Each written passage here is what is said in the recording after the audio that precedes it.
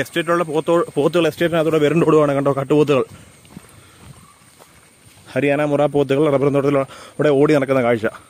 എല്ലാവർക്കും നമസ്കാരം. നമ്മുടെ പുതിയൊരു വീഡിയോയിലോട്ട് എല്ലാവർക്കും സ്വാഗതം. ഞാനുള്ള നമ്മുടെ പെരുന്നാട്ടിലുള്ള ഒരു റബ്ബർ എസ്റ്റേറ്റിലാണ്. ഏകദേശം ഒരു ഇരുപത് ഏക്കറോളം ഉള്ള ഒരു എസ്റ്റേറ്റാണ്. അപ്പോൾ ഇവിടെ കുറേ പോത്തുകളെ നമ്മുടെ കാട്ടുപോത്തുകളെ പോലെ നമ്മുടെ ഹരിയാനയിലുള്ള മുറ പോത്തുകളെ ഇവിടെ നമ്മുടെ കാട്ടിനകത്തെ പോലെ ഇട്ട് എസ്റ്റേറ്റിനകത്ത് വളർത്തിക്കൊണ്ടിരിക്കുന്ന ഒരു കാഴ്ച നമ്മൾ കാണുകയുണ്ടായി. നമ്മുടെ സാമച്ചായനാണ് പെരുന്നാളുള്ള സാമച്ചായന്റെ അദ്ദേഹത്തിന്റെ ബ്രദറിന്റെയാണ് ഈ ഒരു എസ്റ്റേറ്റ്. ഇവിടെ ഒരു പതിനൊന്നോളം മുറാപ്പോത്തുകളാണുള്ളത്. മുറ പോത്തുകളാണുള്ളത് അപ്പോൾ അതിന്റെ കുറച്ച് വിശേഷങ്ങളാണ് ഈ ഒരു വീഡിയോക്കകത്ത് പങ്കുവെക്കുന്നത്. നമുക്ക് ഇതിനെല്ലാം ഈ ഒരു എസ്റ്റേറ്റിനകത്ത് ഇരുപത്തിനാല് മണിക്കൂർ ഇതിനകത്ത് അഴിച്ചു വിട്ടേക്കുവാണ്. അപ്പോൾ നമ്മൾ വൈകുന്നേരമാണ് ഇവിടെ എത്തിയിരിക്കുന്നത്. അപ്പോൾ വൈകുന്നേരം തീറ്റയെല്ലാം തിന്നിട്ട് ഇവർ തോട്ടിലോട്ട് കുളിക്കാൻ പോകുന്ന ഒരു കാഴ്ചയാണ് നമ്മൾ പുറകെ കാണുന്നത്. അപ്പോൾ ഇതിന്റെ വിശേഷങ്ങളാണ് ഈ ഒരു പോത്ത് വളർത്തൽ കൊണ്ട് ഒത്തിരി ഗുണങ്ങളാണ് ഈ സമശായന് ഈ ഒരു എസ്റ്റേറ്റിന് ഉണ്ടായിരിക്കുന്നത്. അപ്പോൾ അതിന്റെ കുറേ കാര്യങ്ങൾ നമ്മുടെ സമശായൻ അദ്ദേഹത്തിന്റെ ബ്രദർ നമുക്ക് പറഞ്ഞു തരുന്നതായിരിക്കും അപ്പോൾ എന്തൊക്കെയാണെന്നുള്ള കണ്ടു നോക്കാം. സംശയം ഇത് ഒരു വ്യത്യസ്തമായ ഒരു പരിപാടിയാണ്. നമ്മുടെ റബ്ബർ എസ്റ്റേറ്റിനകത്ത് കാട്ടുപോത്തിനെ പോലെ മുറാപ്പോത്തിനെ വളർത്തും അല്ലേ? അതെ അതെ അതെ. തീർച്ചയായും അത് ഒരു സന്തോഷമായിരുന്നത് അത് എനിക്കൊരു ഒരു പ്രത്യേക ഒരു സന്തോഷം കഴിഞ്ഞ കോവിഡ് കാലത്താണ് ഈ ഒരു ആശയം വന്നത്. ശരി. അതായത് എല്ലാ ലോകം മുഴുവൻ കോവിഡ് വ്യാപിച്ച് അടഞ്ഞിടക്കുന്ന സമയത്ത് ഞങ്ങളുടെ പള്ളിയായിട്ട് പെരുന്നാട് മർത്തോമ പള്ളിയുടെ വികസന സംഘത്തിന്റെ ഭാഗമായി ഒരു പ്രൊജക്റ്റാണ് പോത്തുഗ്രാം പദ്ധതി. ഓ ശരി.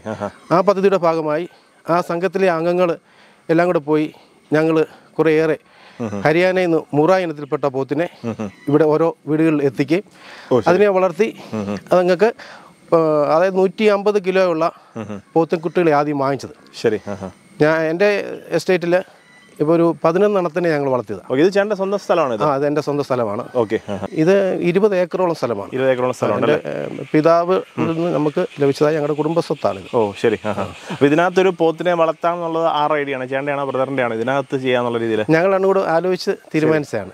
ഇതിന്റെ അകത്ത് ഇടവിളയായിട്ട് നമുക്ക് പോത്തിനെ വളർത്തിയ. കാരണം റബ്ബറിന്റെ വില ഇടിഞ്ഞു കൂടി.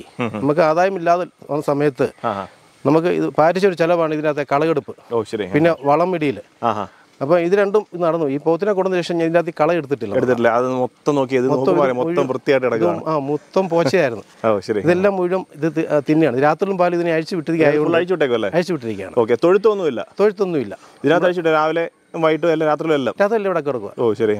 അപ്പോൾ ഈ കറ എടുക്കുക നിങ്ങൾ വെട്ടുന്ന റബ്ബർ ഉണ്ട് അപ്പോൾ അതിന് പ്രശ്നമൊന്നുമില്ല ചേട്ടാ വെട്ടുന്ന ആ സമയത്ത് ഇതിനെ വെട്ടാത്ത ഒരു ബ്ലോക്കിലോട്ട് ഇതുങ്ങളെല്ലാം മാറ്റും. പല ഇത് തട്ടാടി തിരിച്ച് പല തട്ട തിരിച്ച്. അതിനകത്ത് ടാപ്പിംഗ് വരെ ഒന്നോടെ ഒന്നര ഇട്ടത് മൂന്ന് മൂന്ന് ദിവസമാണ് ഒരു മരം വെട്ടി കഴിഞ്ഞ പിന്നെ മൂന്നാം പക്കമാണ് പിന്നെ ആ ഒരു ബ്ലോക്ക് വെട്ടുന്നത്. ഓ ശരി. ആ ആ ആ. അപ്പോൾ ഇതിന് ആ ജോലിക്കാർ തന്നെയാണ് ഇതിന്റെ കാര്യങ്ങളൊക്കെ ക്രമീകരിക്കുന്നത്. രാ വൈകിട്ട് ഇതിനെല്ലാം ഭക്ഷണം കൊടുക്കുന്നുണ്ട് കൈത്തീറ്റ കൊടുക്കുന്നുണ്ട്. പുളിയരി വേവിച്ച് പിന്നെ തവിടും കലക്കി അങ്ങനെ ദിവസം ഒരെണ്ണത്തിന് അഞ്ച് കിലോ വീതം ഞങ്ങൾ വൈകുന്നേരം അത് കൊടുക്കുന്നുണ്ട്. കൊടുക്കുന്നു. ഇത് കൂടാതെ ഇവിടുത്തെ പുല്ല് കൂടാതെ. പുല്ല് കൂടാതെ. ഓ ശരി. അതായത് നമുക്ക് പറയുകയാണെന്നുണ്ടെങ്കിൽ ഇരട്ടി ഗുണമാണ്. അതായത് നമ്മുടെ ഇവിടുത്തെ പറമ്പിലെ പുല്ലും പോവും പിന്നെ അതുപോലെ തോട്ടത്തിലുള്ള വളവും കിട്ടും അല്ലേ? ജൈവവളം കിട്ടും. ജൈവവളം കിട്ടും. കെമിക്കൽ ഒന്നും ചെയ്യേണ്ട ഒന്നും ചെയ്യേണ്ട. ഇത് നടന്നു പോകുന്ന കൂട്ടത്തിൽ അഥവാ നമ്മൾ വളം മേടിച്ചാൽ പത്തും അമ്പതും ചാക്കും മേടിച്ചാൽ നമ്മൾ പണിക്കാരെ നിർത്തി ഇത് വളം ഇടണം. അതെ. ഇത് അത് വേണ്ട. ഇത് ഇതിലൂടെ നടക്കുന്നതായതുകൊണ്ട്. ഓരോ പ്ലാറ്റ്ഫോമിലും കൂടെ വളം ഇട്ടാണ് പോകുന്നത്. ശരി അപ്പോൾ ഇതിന്റെ പ്രത്യേകത എന്ന് പറഞ്ഞാൽ ഇപ്പം ഈ ഈ ഞങ്ങളുടെ വസ്തുവിനകത്ത് ഈ മണ്ണിരയുണ്ട് ഇപ്പം ധാരാളം മണ്ണിരയുണ്ട്.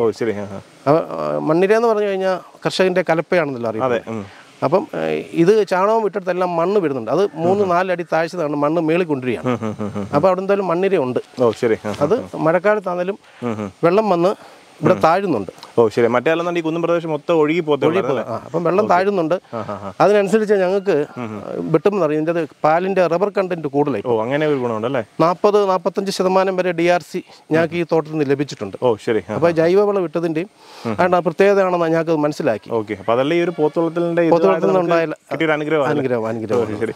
ഇപ്പൊ നമുക്ക് വാങ്ങിച്ചത് നിങ്ങൾ എത്ര? പതിനൊന്ന് പോത്തുള്ള എത്ര പോത്തിനെ ഞങ്ങൾ പതിനൊന്ന് പോത്തിനെ ആദ്യം വാങ്ങിച്ചു വാങ്ങിച്ചത്. ഇനിയിപ്പോ നമുക്ക് എത്ര പേരുണ്ട് ഇവരെ പോലെ രണ്ട് രണ്ട് പോത്തിനെ കഴിഞ്ഞ ദിവസങ്ങളിൽ കൊടുത്തു. കൊടുത്തല്ലേ? ഇനിയിപ്പോൾ ഒമ്പതെണ്ണമാണ് ഉള്ളത്. ഇത് ശരിക്കും എത്ര വർഷം? ഒരു വർഷത്തിൽ നിങ്ങൾ ഇത് വളർത്താൻ തുടങ്ങി ഒന്നര വർഷത്തോളമായി. ഒന്നര വർഷത്തോളം അല്ലേ? പോത്തിനെ വളർത്തും. ചിലപ്പോൾ അവർക്ക് വൈകുന്നേരം കൊടുക്കുന്ന കൈത്തീറ്റ പുളി ഒരു നേരം മാത്രമല്ലേ കൊടുക്കുന്നുള്ളൂ? ഒരു നേരം മാത്രമേ ബാക്കിയെല്ലാം ഇവിടുത്തെ പുല്ലും കഴിച്ചിട്ടാണ് വളരുന്നത്. ഇതിന്റെ അകത്ത് തന്നെ പറമ്പിൽ തന്നെ തോടുണ്ട്. തോടുണ്ട് ആ തോട്ടിലെ വെള്ളം ഇത് പോയി കുടിച്ചോളും. പിന്നെ അവിടെ കുറച്ചു നേരം അവിടെ കിടക്കും. ഓക്കെ അതിന് പ്രത്യേകിച്ച് നമ്മൾ അതിനെ ആ അതുങ്ങൾ തന്നെ അവിടെ ആവശ്യമുള്ള പോയി വെള്ളം കുടിക്കുന്നു ആവശ്യമുള്ള ഇവിടെ കിടക്കുന്നു. ഓ ശരി. അതായത് നമുക്കൊരു പരിചരണം വലുതായിട്ട് വേണ്ടാതെ വേണ്ട കിടക്കും ഓക്കെ. ഇതിനെല്ലാം അല്ലേ? എല്ലാത്തിനും മൂക്കേറുണ്ട് ഓക്കെ ഇതിപ്പോൾ നമുക്ക് ഫുള്ള് ഫെൻസ്ഡ് ആണോ ഈ ഏരിയ ആ നമ്മുടെ തോട്ടം മുഴുവൻ ഫെൻസ്ഡ് ആണ്. ഓക്കെ അപ്പൊ അതുകൊണ്ട് ഇതിന് പുറത്ത് പോകത്തില്ല. ആർക്കും ശല്യം നാട്ടുകാർക്കൊന്നും ശല്യം ഒരു ശല്യം നാട്ടുകാർക്കൊന്നും ശല്യമില്ല. ഇല്ല ഇപ്പൊ പരിചയമില്ലാത്ത ആൾക്കാർ വന്നു കഴിഞ്ഞാൽ ആക്രമിക്കുക അങ്ങനെ എന്തെങ്കിലും ചെയ്യും? ആ പരിചയമില്ലാത്തവർ വന്നു കഴിഞ്ഞാൽ ആൾക്കാർക്ക് പേടിയാണ്. പക്ഷെ ഇത് വളരെ ശാന്തതയുള്ളതാണ്. ഓ ശരി. ആർക്ക് വേണമെങ്കിലും വന്ന് അടുത്ത് അടുത്ത് അല്ലേ? പക്ഷെ ഇങ്ങനെ കാട്ടുപൂത്തിനെ അല്ലേ? ആ ഇത് കാണുമ്പോൾ ഇത് പെട്ടെന്ന് പരിചയമില്ലാത്തവർ വന്നു കഴിഞ്ഞാൽ അതിങ്ങനെ നോക്കും മണത്ത് നോക്കും. അതിന്റെ മണം അറിഞ്ഞിട്ട് അത് ചാടി വരും. ഓ ശരി. ഇതിങ്ങനെ കൂട്ടം കൂട്ടമായിട്ട് നടന്നോളൂ അല്ലേ കൂട്ടം കൂട്ടമായിട്ട് നടക്കും. ഇപ്പൊ വൈകുന്നേരത്തെ സമയം ഇനിയിപ്പോ എവിടോട്ട് പോയി മരെ വൈകിട്ടെല്ലാം കൂടെ ഇപ്പൊ അതിന് ആഹാരം കഴിക്കുന്ന സമയമായി വരുന്നു. അപ്പൊ അപ്പോൾ ആ സമയത്ത് എല്ലാം കൂടെ ഒരിടത്ത് വന്ന് കേന്ദ്രീകരിക്കും. നമ്മുടെ ഗേറ്റിന്റെ അവിടെ വന്നിരിക്കും നിൽക്കും. ഓ അവിടെയാണ് നിങ്ങൾ ഫുഡെല്ലാം അറേഞ്ച് ചെയ്തേക്കുന്നത്? അപ്പോൾ അവിടെ നിന്ന് വന്ന് റോഡേ വന്ന് ആ ഫുഡ് കഴിക്കുന്ന സ്ഥലം അറിയും. ഓരോന്നിനും ഓരോന്നിനും ഓരോ പാത്രം വെച്ചിട്ട് അതിന്റെ പാത്രത്തിൽ മാത്രമേ അത് മാത്രമേ കഴിക്കുള്ളൂ ഓ അതങ്ങനെ ഒരു ശീലമായി. അതങ്ങനെ ശീലമായി. Okay okay. നമ്മളിപ്പം നമ്മുടെ ചേട്ടന്റെ സമചാന്റെ ഇരുപത് ഏക്കറുള്ള വലിയൊരു റബ്ബറും തോട്ടത്തിലാണ് നിൽക്കുന്നത്. അപ്പോൾ ഇവിടെ നമ്മൾ കാണുമ്പോൾ കാട്ടുപോത്തിനെ പോലെ വളർത്തുന്ന ഒരു പതിനൊന്ന് പോത്തുണ്ടായിരുന്നു. അപ്പോൾ നമ്മൾ ഇനിയിപ്പോൾ ഒമ്പത് മുറാ പോത്തുകളാണ് ഉള്ളത്. അപ്പോൾ അവർ പോത്ത് ഗ്രാമം പദ്ധതിയുടെ ഭാഗമായിട്ട് അവർ വളർത്തുന്നതാണ് ഇവിടുത്തെ പെരുന്നാളിലെ കർഷകർ. അപ്പോൾ ഒന്നര കഴിഞ്ഞ ഒരു ഒന്നര വർഷമായിട്ട് വളർത്തുന്നുണ്ട് കാണുമ്പോൾ തന്നെ അറിയാം. വളരെ എല്ലാവർക്കും തോട്ടമൊക്കെ ഉള്ളവർക്ക് വളരെ മാതൃകയാക്കാൻ പറ്റുന്ന ഒരു രീതിയാണ് ഈ ഒരു പോത്ത് വളർത്തൽ അപ്പോൾ ഇനിയിപ്പോൾ നമ്മൾ ഇവരെയും കൊണ്ട് നമ്മൾ താഴെ നമ്മൾ ഇവരെ കൂടെ നമ്മൾ താഴെ ഗേറ്റിന്റെ തൊട്ട് പോവാണ്. അപ്പോൾ അവിടെയാണ് ഇവിടെ ഇവരുടെ ഫുഡും കാര്യങ്ങളും അല്ലേ ഏട്ടാ? അതെ അതെ. അപ്പോൾ പുളിയരിയൊക്കെ റെഡിയാക്കി വെച്ചിട്ടുണ്ട്. ഇനി അത് കഴിക്കും. അത് കഴിഞ്ഞിട്ട് എന്തോ തോട്ടിൽ പോയി കിടക്കൂ അത് കഴിഞ്ഞിട്ട് തോട്ടിൽ പോയി വെള്ളം കുടിച്ചിട്ട് ഓ ശരി. അവിടെ അവിടെ കിടന്നോളൂ. ഓക്കെ. തോടിന്റെ സൈഡിൽ കിടന്നോളൂ? തോടിന്റെ സൈഡിൽ കിടത്താം പിന്നെ ഇപ്പോൾ രാവിലെ ഇനി വീണ്ടും മല കയറും രാത്രി തന്നെ ഇതിവിടെ വന്ന് ഈ തീറ്റ് തിന്നും ഇവിടെ രാത്രി ഫുള്ള് ഇവിടെ കിടക്കുക ഇവിടെ അല്ലേ ഓ ശരി. ഇവരിപ്പോൾ സാധാരണ നമ്മുടെ പെരുന്നാട് ഈ ഏരിയ പന്നി ശല്യം ഉള്ളത് ഇതുകൊണ്ട് അങ്ങനെ എന്തെങ്കിലും ഇവർ വന്നാൽ പിന്നെ പന്നി അങ്ങനെ എന്തെങ്കിലും ഉണ്ടോ? അങ്ങനെ ഇവിടെ അങ്ങനെ പന്നിയുടെ ശല്യം കുറവാണ്. കുറവാണ്. അതുകൊണ്ട് തന്നെ തോട്ടപ്പുഴു ഇവിടെ ഇല്ല. ഓ ശരി. ഇതിന്റെ മൂത്രം വീഴുന്നോണ്ടായിരിക്കാം ഒരുപക്ഷെ തോട്ടപ്പുഴു ഇല്ല. ഉം, ഉം, ഇവിടെ ഈ തോട്ടത്തിൽ തോട്ടപ്പുഴു ഇല്ലെന്നാണ് പറയുന്നത്.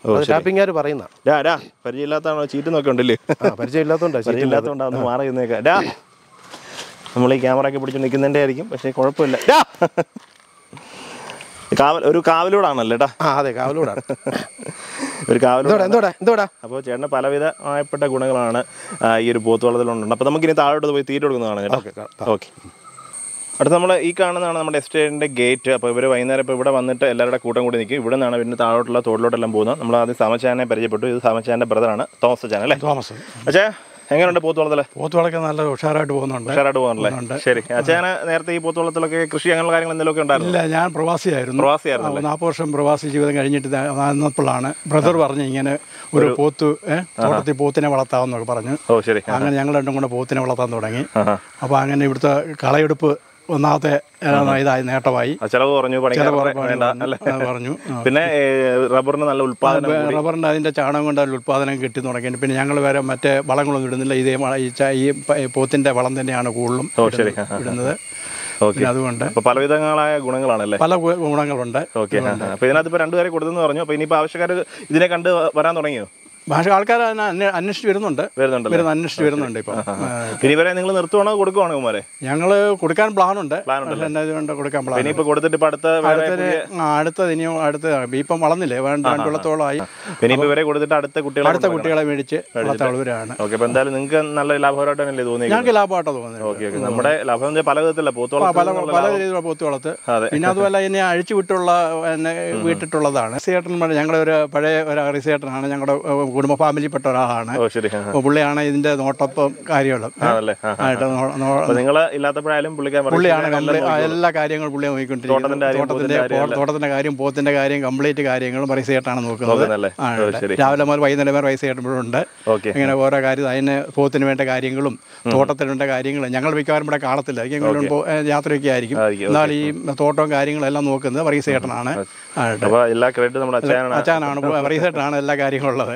പിന്നെ ഞങ്ങൾ വല്ലപ്പോഴൊക്കെ ഇങ്ങനെ വരത്തുള്ളൂ വരത്തുള്ളൂ. എല്ലാ കാര്യങ്ങളും നോക്കുന്നത് പറയസേട്ടനാണ് ഇതുകൂടാതെ അച്ചായന്റെ കൂടെ രണ്ട് രണ്ട് പേര് രണ്ടുപേരുണ്ട്. ഒന്ന് ഷിജും സുരേഷുമാണ്. തോട്ടം നോക്കുന്നത് നോക്കുന്ന ടാപ്പിംഗ് നോക്കുന്ന അവരും വന്ന് രാവിലെ വന്നിട്ട് ഇതിനെ തോട്ടം ഇതിനെ അഴിച്ചു വിടുകയും അതിന് വെള്ളം കൊടുക്കുകയും ഇതിന് നാല് മണി അഞ്ചു മണി തീറ്റി കൊടുക്കാനുള്ള എല്ലാവരും രണ്ടുപേരും വരും. വന്നിട്ട് ഇതിനെ നോക്കി നടക്കും. എന്തായാലും ഉഷാറായിട്ട് പോകുന്നു എല്ലാവരും ഉഷാറായിട്ട് പോകുന്നുണ്ട്. ഇതൊക്കെയാണ് നമ്മുടെ തോട്ടത്തിലെ എസ്റ്റേറ്റിലെ പോത്തുള്ളത്. ഓക്കെ അപ്പോൾ എന്തായാലും ഭാവിയിൽ നല്ല നല്ല പോത്തുകളിലെ കൊണ്ടുവന്നിട്ട് സംരംഭം വിജയകരമാണ് അടുത്ത ഇനി ഇതിനെ വിട്ടിട്ട് കൊടുത്തിട്ട് അടുത്തതിനെ കൊണ്ടുവരാനുള്ള പ്ലാൻ നോക്കുന്നു ഇനി. Okay okay.